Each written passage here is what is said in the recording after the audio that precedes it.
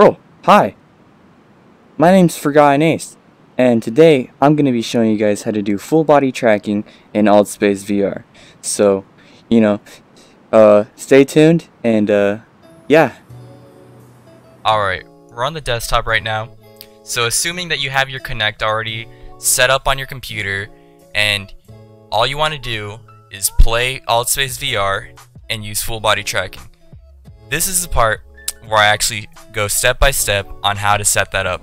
But first thing you gotta do is if you haven't already, download the Kinect for Windows Runtime 2.0 drivers for your Kinect so you can actually use your Kinect.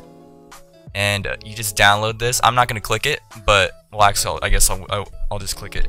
But yeah, you, it'll download, and you just do whatever it says right there, and then, and then that that'll be in the description if you don't have the drivers. You have to join this Discord server, uh, AltSpace Body Tracking, and what you got to do is go to Updates and just download the latest version of whatever is here at the bottom. So you click this, the window Chrome will appear. Uh, a DLL will appear at the bottom.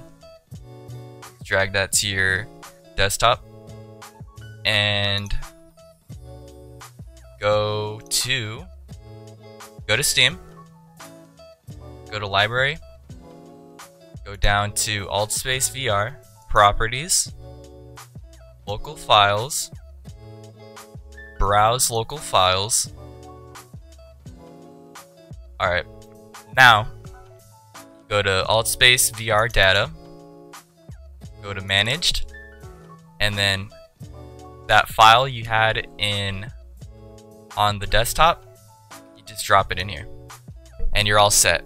Now that you got all those things done, you should be able to move your arms, your legs, and your body. And your elbows, because, you know, that's cool too. So, uh, I hope you guys enjoyed this video. Hopefully it was uh, educational.